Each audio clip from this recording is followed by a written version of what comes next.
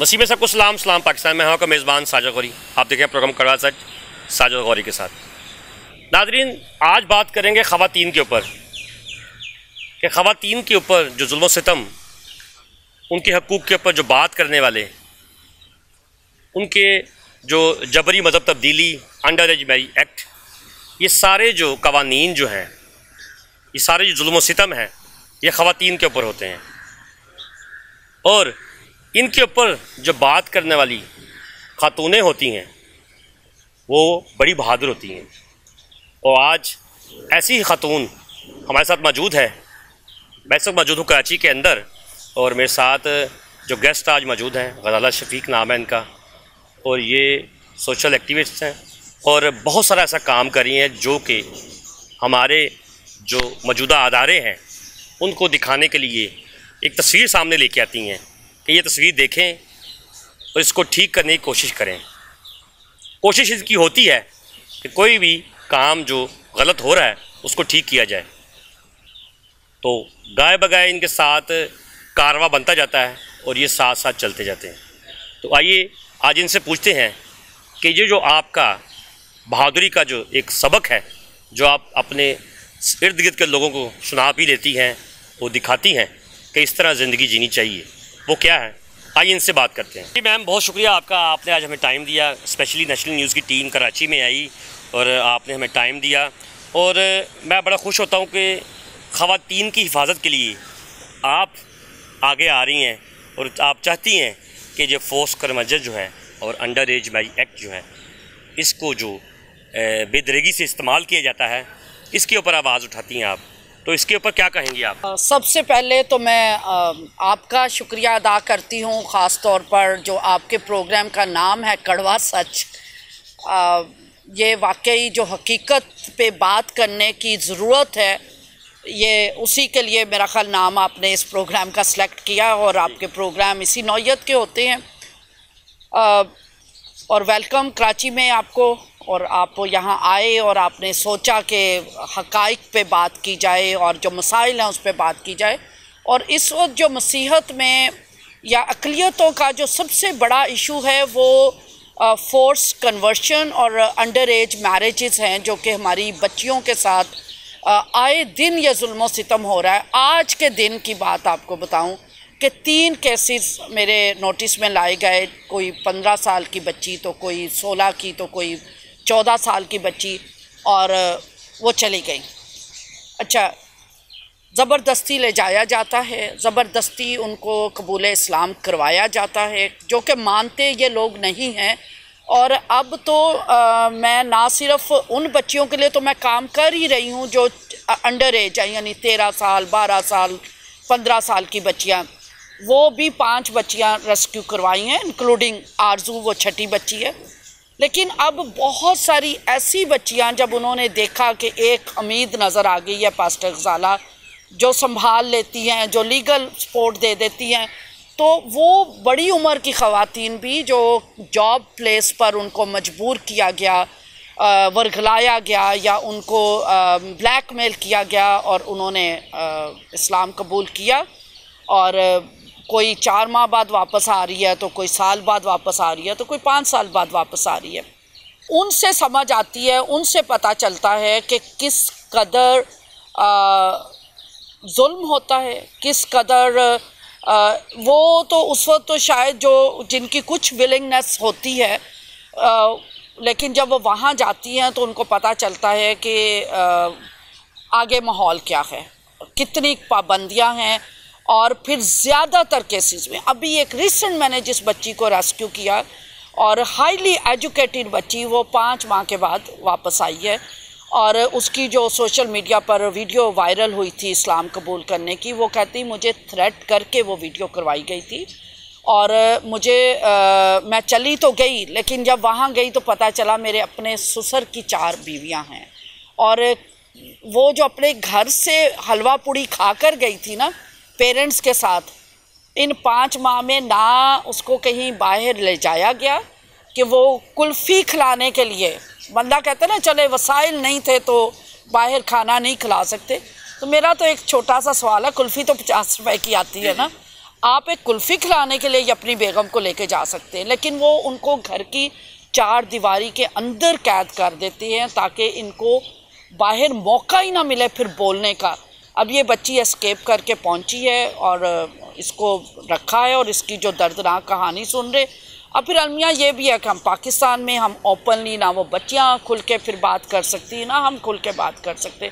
लेकिन ज़रूरत बहुत ज़्यादा है और जो ना सिर्फ़ ये कि इनमें बच्चियों को, छोटी उम्र की बच्चियों को वर्गलाया जाता है और बहुत सी चीज़ें हैं जो हमारे चर्च को भी समझने की अच्छा केसेस की अगर बात करते हैं तो जिस तरह आप सिंध में रहती हैं कराची से तल्लुक़ है आपका। और अंडर एज मैरी एक्ट का जो कानून था वो सिंध असम्बली से पास हुआ। इसके ऊपर इम्प्लीमेंट क्यों नहीं हो रहा? कहाँ पर कमज़ोरी है?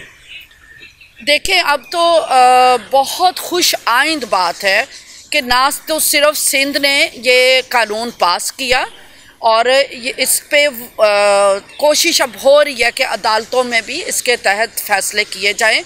और आरज़ू केस के बाद ज़्यादा इसकी जो नौीयत थी और इसकी नॉलेज आम लोगों तक और पुलिस तक भी ज़्यादा पहुँची। और आप कह रही हैं कि इम्प्लीमेंट कहाँ नहीं होता।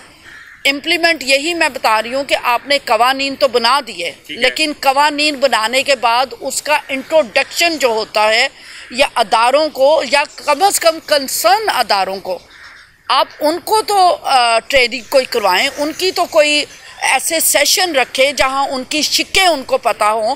यहाँ तक कि आप ये जो हमारे अदारे हैं, उनको नहीं पता जहाँ बच्चियाँ भेज दी जाती हैं कोर्ट से जब रेस्क्यू होकर आती हैं और अदारों में भेज दी जाती, उनको नहीं पता होता, वो हमें कहते हैं। वो हमें कहते हैं कि आप हमें ये कानून की वो शिक तीन क्या, चार क्या, पाँच क्या, आप बता दें। फिर वो ही अदारे, आरज़ू केस की मैं बात करूँ, एक लॉ है कि जो विक्टम का वकील है और जो एक्यूज का वकील है, वो दोनों सेम नहीं हो सकते। यानी मुजरम और मुलजम के वकील अलग अलग होते हैं। आरज़ू केस में क्या हुआ? कि वही जो किडनैपर है, उसका वकील है और अदारा जहाँ आरज़ू को शेल्टर के लिए भेजा गया, उसको जब उसने कहा कि मैं माँ बाप के पास नहीं जाना चाहती, जिस अदारे में रखा गया उस अदारे से एक साल के बाद हाई कोर्ट को लेटर लिखा जाता है कि ये उसका हस्बैंड है, उसको मिलने की इजाज़त दी जाए, उसके वकील को उससे मिलने की इजाज़त दी जाए। यानी एक तो हम वो क्रिमिनल प्रोसीडिंग्स को देख रहे होते हैं एक सोसाइटी का जो प्रेशर आ रहा होता है, उसको देख रहे होते हैं। एक हमें तकलीफ़ ये पहुँचती है कि उन अदारों को ही इलम नहीं होता कि ये कानून पास हो चुका है। अब यानी तो कि अब मैं आपकी बात बड़ी कर रहा हूँ। यानी कि जो कानून पास किया गया असम्बली में जो मजहबी कानून है उसके बरक्स है। इस्लामिक पॉइंट ऑफ़ व्यू से जगह जब बच्चियों को जब जबरी मज़हब तब्दीली में लेके जाया जाता है तो वो कहते हैं कि जी ये उम्र जो है तेरह बालक हो गई बच्ची बालक हो गई वो कानून को वो मानते हैं। जो इम्प्लीमेंट किया गया उसको क्यों नहीं मानते? ये कहीं ये रुकावट तो नहीं है। कि वो लोग उस कानून को ज़्यादा मान रहे हैं देखें देखें मैं एक चीज़ यही हो रहा था। ठीक है। यही हो रहा था कि वो जो शरई बात है कि बच्ची बालक हो गई तो वो शादी आ, कर सकती है। वो उसकी उम्र कोई भी हो चाहे वो आठ साल है दस साल है कोई भी उम्र हो। हो रहा था लेकिन जो मैं आपको खुश आइंद बात बता रही हूँ वो ये है कि सिंध में तो ये कानून हो गया कि अठारह साल से नीचे शादी ना लड़का कर सकता ना लड़की। लेकिन अब शरिया कोर्ट ने भी इस चीज़ को एग्री कर लिया। अच्छा आरज़ू केस में ये बहुत अच्छी बात हुई 22 दिसंबर को जब इसको पेरेंट्स के हवाले किया गया। उस दिन आ, अदर साइड वही ये जो इस्लामिक लॉ की आप बात कर रहे हैं कि बच्ची मैच्योर हो गई है प्यूपर्टी की एज अटेन कर ली है तो अब तो ये तो शादी शादी है। तो वहाँ पर शरिया कोर्ट ने भी इस बात को अप्रूव कर दिया है कि जो ये सिद्ध ने कानून बनाया 18 साल की बच्ची का, ये बिल्कुल इस्लामी है। उन्होंने उन तमाम अहादीस को, उन तालीमत को कॉरपोरेट किया इसके साथ, जो ये इस बात पे एम्फेसिस करती हैं कि जहनी तौर पर, जिसमानी तौर पर बच्चे का बादशूर और बालक होना बहुत ज़रूरी है। और वो जजिज़ ने कहा, ये इसी बात की तरफ़ है कि 18 साल वो उम्र है जो कौमी तौर पर मुकर की गई है। क्योंकि 18 साल की उम्र में बच्चा इस काबिल हो जाता है कि वो अपने फ़ैसले खुद कर सके अक्लमंदी के फ़ैसले उससे तो हो सकते हैं। तो इस वजह से अभी ये पॉजिटिव चीज़ हुई है आरज़ू केस में। हमें इसको अब बताने की ज़रूरत है। और उसके बाद से जितने भी केसेस हुए this is a positive thing जिसे हमें दूसरों को बताने की भी ज़रूरत है। उसके बाद जितनी बच्चियाँ गई हैं यहाँ तक एक बच्ची माइला जिसका मैंने केस किया, वो पादरी ने ही उसका निकाह कर दिया। शी वॉज़ ओनली फिफ्टीन लेकिन उसका केस फिर अंडर एज मैरिज के तहत पुलिस ने खुद ही ट्रायल किया, लड़के को जेल भेज दिया और लड़की को उठा के शेल्टर भेज दिया। तो ये पॉजिटिव बात हो चुकी है। अच्छा इसी केस की अगर बात करते हैं तो लाहौर में पिछले दिनों, लाहौर हाई कोर्ट में एक केस को ये इसी के ऊपर चैलेंज किया गया है। कि एक पासर साहबान ने तेरह साल की बच्ची का निकाह कर दिया और एडवोकेट जो जावेद गिल साहब हैं, उन्होंने उसको केस को रिट की और हाई कोर्ट में लेके आए केस को कि ये निकाह जो है वो नाजायज़ है। क्योंकि जो बच्ची है, वो अंडर एज है, वो जो पादरी साहब हैं, उन्होंने निकाह क्यों किया? और इसी के ऊपर भी केस चल रहा है। ये आपकी बात वही वाली कि ये यहाँ पर भी अगर पादरी साहब के ऊपर एक्शन लिया गया है तो लाहौर में भी, पंजाब में भी इस तरह ही हुआ। अच्छा ये एक चीज़ मैं और आपको बताती चली जाऊँ। ये माइला वाला केस पहला केस था जिसको हमने ही डील किया। ठीक है। तो जैसे ही एफआईआर कटवा दी और उसी वो सारे सेक्शन जो अंडर एज मैरिज एक्ट के हैं वो उस पर अप्लाई हो गए ठीक है। और उसको अरेस्ट कर लिया। तो अब सारे कराची से मुझे पादरियों के फ़ोन आना शुरू हो गए कि ये तो क्रिश्चियन बंदा है पादरी ने नकाब पड़ा है प्लीज़ आप इसको छोड़ दें आप माफ़ कर दें। खैर लड़के वाले लोगों ने भी आके बहुत माफ़ी मांगी रोए। और मैंने उन्हें बहुत समझाया कि ये कंपाउंडेबल नहीं है। ये आ, आपकी मर्ज़ी नहीं है कि आप गुनाह कर लें और फिर आप ठीक कर लें। लेकिन क्योंकि बहुत ज़्यादा मुझ पर दबाव था बड़ी बड़ी पंचायतें आके बैठना शुरू हो गई बाजी इसको कुछ करें। तो हमने फिर एक रास्ता निकाला लेकिन उसके बाद हमारे वकला के लिए बड़ी एम्बेरसमेंट हुई जब जजिस ने कहा कि जब ये कोई दूसरी कौम का शख्स करता है उस वक्त तो आप पूरा वो जोश लगाते हैं, पूरा आप मुखालफत करते हैं। अब ये क्रिश्चियन था तो आपको माफ़ी याद आ गई। तो ये एम्बेरसमेंट क्योंकि अगर हम कोई और जुल्म करता हमारी बच्ची पे, तब तो हम शोर मचाते हैं। जब हमारे अपने ही करने लगे। अब क्या पादरी साहिबान को नहीं पता होना चाहिए कि भी ये कानून मौजूद है? और वो बीस हज़ार लेते हैं कोर्ट में और ये नाजायज़ काम करते हैं।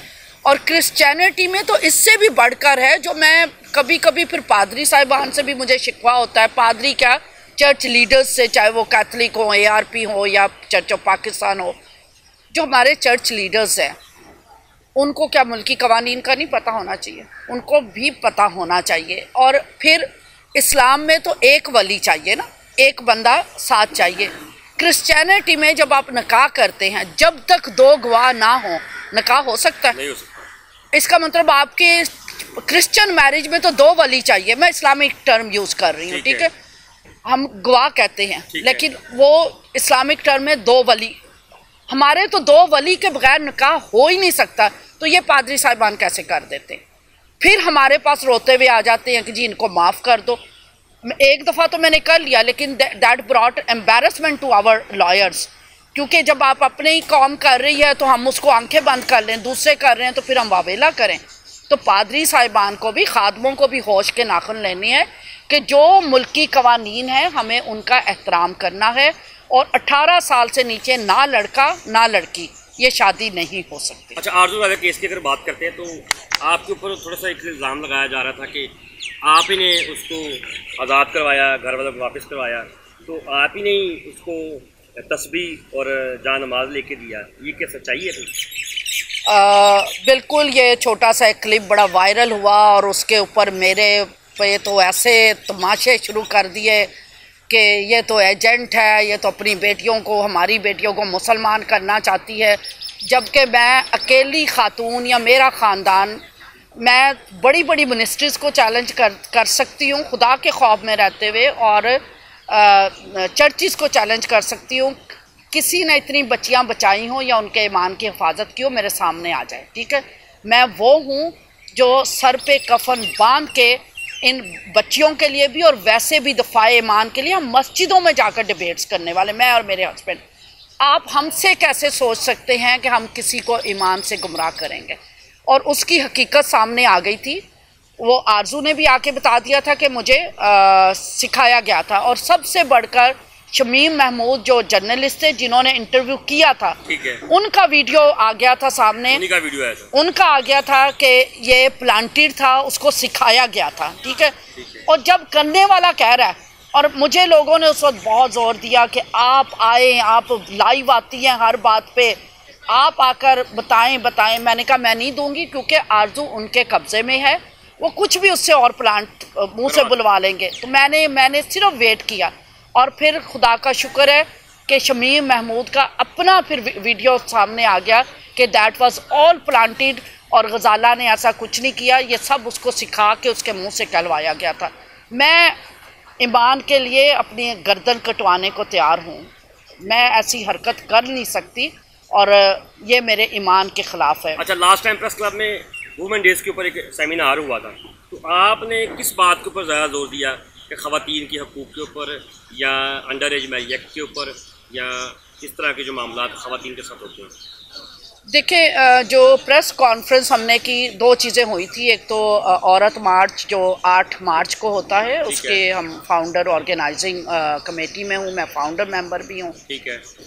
एक होती है प्रेस कॉन्फ्रेंस जब जहाँ पर हम उसका जो हमारा एजेंडा होता है उसको इंट्रोड्यूस करवाते हैं सारी चीज़ों को। तो उसमें सब लोगों को मुख्तलिफ़ पोर्शन दिए होते हैं कि आपने इस इस पे बात करनी है। हमने इस पे बात की जो हमारा दरीना मुतालबा है सबसे बड़ा मुतालबा तो यही है कि हमारी जो अकलीतों की बच्चियाँ इनके लिए शेल्टर अलग बनाए जाएँ क्योंकि जब वहाँ से हम छुड़ा भी लेते हैं तो उन्हीं शेल्टर्स में दारुल अमान में या उन जगहों पे चले जाते हैं जहाँ सारे मुसलमान हैं और वो एक बच्ची अकेली क्रिश्चियन होती है या हिंदू होती है और उस पर फिर वो सारे तख्ता मश्क मश्क उसको बनाते हैं कि नहीं तू तो मुसलमान है उस ठीक है। वो हमारा मुतालबा था और इसके अलावा जो हमारा इस दफ़ा जो मेन फोकस था वो उजरत तहफ़ और सुकून डोमेस्टिक वर्कर्स की, और सैनिटरी वर्कर्स इनके लिए कानून साजी और इनके हकूक़ पे बात करने पे हमारा था, क्योंकि ज़्यादातर जो डोमेस्टिक वर्कर्स हैं हमारी क्रिश्चियन ख़वातीन होती हैं। वो किसी को ढाई हज़ार तनख्वाह मिल रही, किसी को पाँच हज़ार, और ऐसी भयानक कहानियाँ सामने आई, जब हमने इन लोगों के बीच में काम किया कि वो माँ जॉब पे गई है तो उसकी एक बच्ची जब उसके हस्बैंड की डेथ हो गई वो बेवा हो गई तो बारह साल की बच्ची थी उससे किसी अ, अपनी मुसलमान फैमिली के अंदर उस बच्ची को रखवा दिया कि चलो प्रोटेक्टेड होगी गली। मोहल्ले में नहीं फिरेगी वहाँ जो उस घर का बुज़ुर्ग था सत्तर साल का उसने उस बच्ची को कहा आप मुसलमान हो जाएँ उसको सिखाया सिखाया और उसको इस्लाम कबूल करवा दिया और जब इस्लाम कबूल कर लिया तो फिर उसको कहते हैं अब तू मुझसे शादी कर ले। बारह साल की बच्ची सत्तर साल का मर्द। उसको कह रहे हैं कि आप शादी कर लो क्योंकि फिर ये सारा घर आपका हो जाएगा। आपकी मामा भी आसानी से यहाँ आके रह सकेंगी लेकिन आप शादी कर लें। लेकिन शुक्र है वो बच्ची अक्लमंद थी उसने अपनी माँ को बताया। माँ ने बहुत शोर किया। ये आ, एक बड़ा नाम बीच में आता है इसलिए मैं नाम तो नहीं लूँगी। तो वो बच्ची को लेके आए। अच्छा जब बच्ची को लेकर आए, ये आप भयानक कहानी सुने ज़रूर। ये डॉन ने इसको रिपोर्ट किया है। तो जो वहाँ आई, ये वही बच्ची बाइला का मैं ज़िक्र कर रही हूँ। घर आई है तो गली का चालीस साल का बंदा उसको ले उड़ा। और उसकी छोटी बहन जो कि नौ साल की थी, जो घर में होती थी, उसको अपना ही उसका भाई मोलेस्ट कर रहा था। कि हमारी डिमांड औरत मार्च पे इस दफ़ा थी कि ये जो डोमेस्टिक वर्कर्स हैं ये जब काम पे इन्होंने जाना एक तो इन पे यूनियन साजी की जाए कानून साजी की जाए दूसरा इनके बच्चों के लिए शेल्टर बनाए जाएँ ताकि जब माएँ काम पे जाएँ तो उनकी बेटियाँ किसी महफूज जगह पे रह के तालीम हासिल कर सकें। ऐसे भयानक जो उनके साथ तजर्बे होते हैं वो ना अच्छा हो। जो जिन बच्चियों को आप रेस्क्यू करती हैं उसके लिए कोई प्लान है आपका रेस्क्यू करके अपने शेल्टर में बनाने का कोई? बिल्कुल जगह मेरे पास है। है। लेकिन वसाइल नहीं हैं। आर्जी तौर पे एक जगह मैंने रेंट आउट की है और उसमें कुछ चीज़ें तो मैंने ख़रीद के डाल दी हैं और ताकि वो सारी बच्चियाँ उनकी एजुकेशन सबसे इंपॉर्टेंट है। जैसे नेहा है वो तेरह साल की थी अब वो सोलह साल की हो चुकी है। उसकी एजुकेशन का कुछ नहीं हो सका। मैंने मुझ डिफरेंट बिशबों ने डिफरेंट पादरियों ने मुझसे लिखवाया कि आप दें हम इनकी एजुकेशन का करेंगे हम इनके कपड़ों का करेंगे हम इनकी वेलफेयर का कुछ करेंगे। किसी ने आज तक पलट के जवाब नहीं दिया। अफसोस की बात है कि बड़े बड़े अदारे हैं उन्होंने नहीं किया। आए लेकिन उसके बाद नहीं है। नहीं एक शेल्टर ही बना लेते ना। क्योंकि ये दूसरे शेल्टर्स में नहीं रुक सकती क्योंकि इनके पुलिस केसेस होते हैं और इनका एक बैड एक्सपीरियंस रेप हो चुका होता है and then they talk about that experience तो अब दूसरे बच्चों को तो नहीं हम अफेक्ट करना चाहते। तो इनके लिए तो बिल्कुल एक सेपरेट शेल्टर की ज़रूरत है हॉस्टल की ज़रूरत है। मैंने जगह रेंट आउट कर ली है, इस रेंट आउट क्यों की? हमारे क्रिश्चियन कम्युनिटी की इतनी जगह प्रॉपर्टीज़ हैं। आप खुदा के लिए काम कर रही हैं क्रिश्चियन कम्युनिटी के लिए काम कर रही हैं। तो क्या किसी ने नहीं ये कहा कि ये प्रॉपर्टीज़ क्रिश्चियन कम्युनिटी की प्रॉपर्टीज़ हैं, यहाँ कहीं आप बना लें? मैंने बिशप मॉडरेटर आज़ाद मार्शल साहब वसाइल की कमी नहीं है। मेरी उनसे मुलाकात हुई मैंने इन बच्चों के लिए बात की उन्होंने मुझसे लिखवाया भी। सारा कुछ लिख लिख के आज तक इस बात को पाँच माह हो गए शायद। तीन माह हुए हैं या चार पाँच माह हो। गए कोई पलट के जवाब नहीं दिया। क्या इनके पास जगह नहीं है? बहुत जगह। मुझे क्यों रेंट आउट मुझे क्यों अपनी जान पे जुल्म उठाना पड़ता है? अब ये छः बच्चियाँ मेरे पास इस वक्त मौजूद हैं। जो सारी इसी फोर्स कन्वर्शन फोर्स मैरिजेस का शिकार है। क्या इनका हक नहीं इनको तालीम दी जाए? शहजाद रॉय जो कि एक मुसलमान है एक एक्टिविस्ट है जबरान नासर ने उनसे बात की वो तैयार हैं इन छः बच्चियों को अपने स्कूल में एडमिशन देने के लिए। मेरे अदारे किधर है? मेरे अदारे किधर है? मेरे लिए दुख की बात है अफसोस की बात है। ऐसे अदारे बनने चाहिए कि जो कोई नाम पैदा कर सकें जिस तरह मुस्लिम कम्युनिटी में देखा जाए तो काफ़ी सारे अदारे ईदी जैसे ऐसे अदारे हैं जो कि अब कौम के लिए काम कर रहे हैं, नाम रोशन करने के लिए। क्या ये अदारे बनने चाहिए? कौम ने तो सोच लिया है, ख़ास तौर पे जो मजहबी हमारे लीडर्स हैं, उन्होंने तो सोच लिया है, बस सिस्टम चलना चाहिए। ज़रूरत बेस्ड नीड बेस्ड कोई काम नहीं होना चाहिए। मुझे तो ये तलख तजर्बा है। मेरी तो अपनी तनख्वाह चर्च ने मेरे हस्बैंड की अठारह साल से बंद की हुई, वो नहीं रेस्टोर की गई। ये जो कुछ हम करते हैं अपने ज़ाती वसाइल से ज़ाती मेहनत से एक ही सीख लेते Arzoo case internationally hype create हुई। इंटरनेशनली लोगों ने मुझसे पूछा मुझे ना मुझे ना बना के दें। इन बेटियों के लिए बना लें। अच्छा फिर इन्होंने क्या कहना शुरू किया कि ये बेटियाँ वाजिबुल कत्ल हैं। मैं ये भी कर यहाँ ये कंपेन चल गई कि इन लड़कियों को भूल जाओ दफ़ा कर दो आग लगा दो। हाँ जी कंपेन चली बाकायदा। कि आरज़ू वाजिबुल कतल है। आप ये जी, आप ये बच्चियाँ वाजिबुल कतल है। इनको लाने की ज़रूरत ही नहीं है। जो चली गई तो दफ़ा हो गई। मुझे बताएँ, पतरस रसूल जीसस के साथ रहते थे? चौबीस घंटे उनकी खिदमत को देखा, उनके मौजात को देखा, इख्तियार को देखा। इनकार किया जीसस का उन्होंने? तीन बार इनकार किया। वापस आए तो जीसस ने क्या कहा? लानत मलामत की उनको? जीसस ने उनको एक हायर रेस्पॉन्सिबिलिटी दे दी। उसको एक्सेप्ट किया। उसको ए, उसको हौसला अफजाई की कि नहीं तू वापस आ गया तू अब ये मेरे बर्रे चढ़ा। तू चर्च की मिनिस्ट्री संभाल खिदमत का काम कर। हम ये इन बच्चियों को माफ़ करने को तैयार नहीं है जो कि तेरह साल की दस साल की चौदह साल की हम कहते हैं इन पे मट्टी डालो। फिर हमारा माफ़ी का वो डॉक्ट्रिन कहाँ है कि सात के सत्तर बार माफ़ करो। एवरी डे लॉर्ड्स प्रेयर में कहती है कि हम कसूरवारों को माफ़ करते हैं। इन बच्चियों को नहीं माफ़ करना। क्योंकि इन बच्चियों को माफ़ करेंगे तो इनके साथ एक रिस्क फैक्टर है कि खौफ आता है कि कोई इनको आ, निशाना ना बना ले जी ये मुसलमान थी इनको लीगल एड ना देनी पड़ जाए। वो सारी जो कनेक्टेड इसके साथ इश्यूज़ है ना ये बच्चियाँ एक जगह इकट्ठी हो जाए और इनकी तालीम और इनकी स्किल डेवलपमेंट पे काम करके कम अज़ कम मैट्रिक करवा के इनको आगे रिस्पेक्टिव लाइंस में इनको फर्दर एडमिशन दिलवाया जा सके। अभी तक कोई अदारा इसके लिए आगे नहीं बढ़ा चर्च का अदारा। और वसाइल हैं उनके पास, आपके प्लेटफॉर्म से मैं रिक्वेस्ट कर देती हूँ कि इन बच्चियों के लिए खुदारा, इनको कपड़े भी पहनने हैं, इनको रोटी भी खानी है, इनकी लीगल जो सारा केस, नेहा का तीसरा सारा केस चल रहा अभी तक। लॉन्ग लिटिगेशन है। आरज़ू के केस छः केस चल रहे हैं।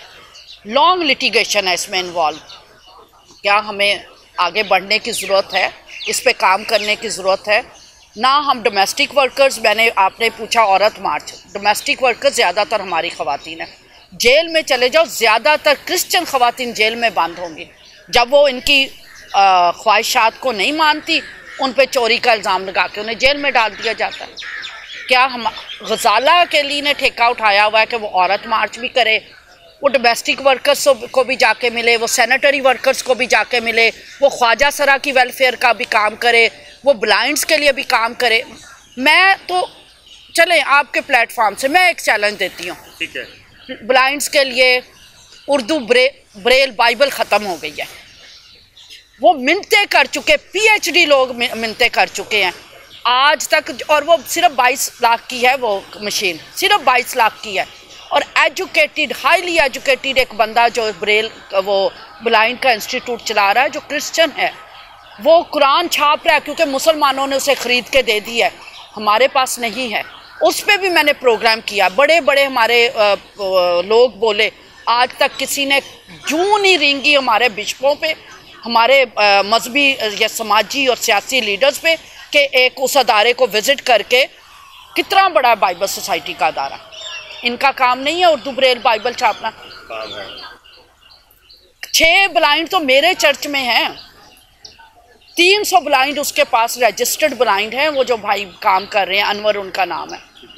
किसी इशू पे हमने काम नहीं करना, हमने सेटअप दिखाने हैं बड़े बड़े रिसेप्शन दिखाने हैं मनोरा का चर्च अभी मैंने दिखाया अठारह लाख का काम है। वीडियो। आपने देखी वो वीडियो? सिर्फ़ अठारह लाख का काम है। हम स्पोर्टेज गाड़ियाँ हम कहते चलाएँ। अस्सी अस्सी लाख की गाड़ियाँ जब हम बिशप हों तो हमारे पास अस्सी अस्सी लाख की गाड़ियाँ हों। हमारी पाँच पाँच लाख तनख्वाहें हों। हमारे पादरियों की बीस बीस हज़ार भी ना तनख्वाह हो। हम चर्च नहीं बना सकते।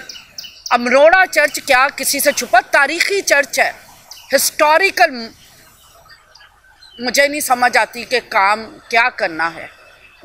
वो वहाँ के जो पादरी साहब हैं, वो जो अभी नए बिशप बने हैं, उन्होंने सेवरल रिक्वेस्ट की है कि आप आ जाएँ विज़िट करें। वहाँ तक विज़िट नहीं हुआ अभी तक।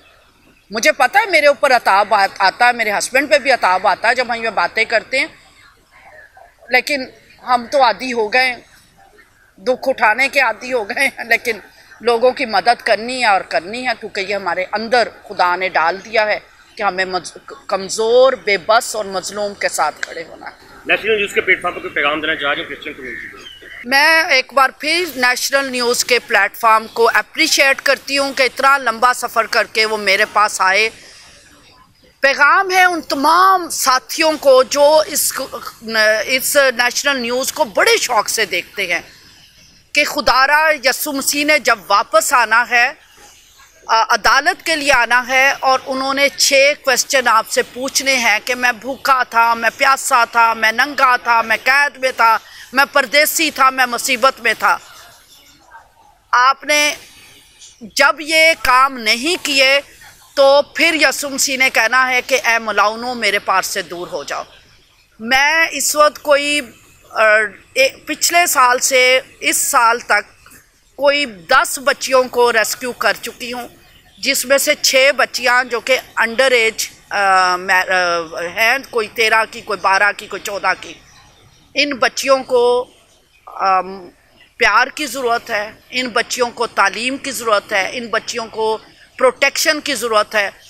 मैंने एक जगह रेंट आउट कर ली है, ज़मीन भी मेरे पास है जिस पे मैं चाहती हूँ कि ख़ुद शेल्टर तामीर किया जाए माइनॉरिटीज़ का शेल्टर गवर्नमेंट से भी मैं डिमांड कर रही हूँ कि गवर्नमेंट ही अता कर दे।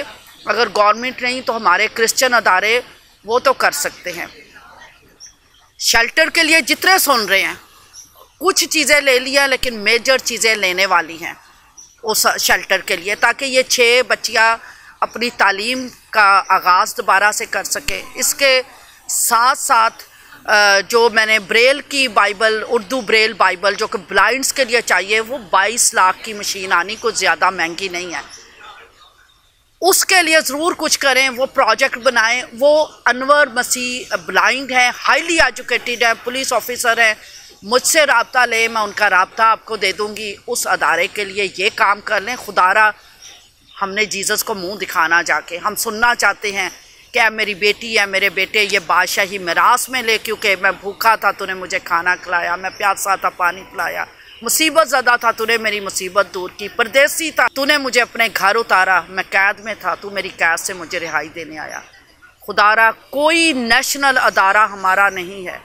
मुसलमानों के यहाँ कराची में ही मैं बता दूँ, सलानी, छिपा, अलखदमत आलमगीर वेलफेयर इतने ह्यूज पैमाने पे वो काम कर रहे हैं और ये तो सिर्फ़ इन्होंने ढाई फ़ीसद ज़क़़त निकालनी होती है। हमने तो हर महीने दया यकी देनी होती है।